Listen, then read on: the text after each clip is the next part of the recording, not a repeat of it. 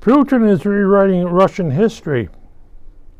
Um, remember Joseph Stalin, his terrorist acts against his citizens? No longer in history books. It's all gone. That the United States was a minor person involved in World War II and Russia was a main one. Which it did, you know. The Tiger tank. Hitler developed 1,600 Tiger tanks. Russia developed 50,000 tanks. Tiger tanks didn't have a chance.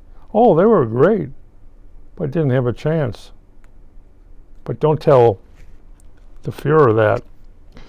But Putin is rewriting history. He's removing all the reference of what Stalin did to the citizens of Russia, Ukraine.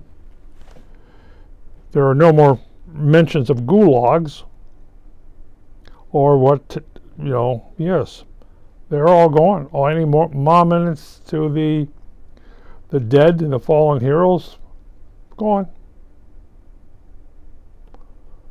Yep, gone, gone, gone rewriting history.